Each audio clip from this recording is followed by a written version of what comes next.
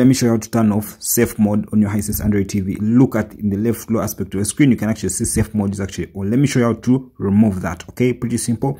All you have to do is press your home button, your TV remote to have this home screen, and then you're going to navigate apps, you know, up to the settings icon right there. Select settings. Then you're going to move down to device preferences. Press OK right there, and then you're going to move down, down, down, down. Scroll down till where you see the word restart press ok on the restart. Okay move up the restart option right there then press ok. Then your device restarts. So when your device restarts you notice that safe mode is actually now off and it's turned off. It's not there anymore. Consider subscribing if you picked value in this video. See you next time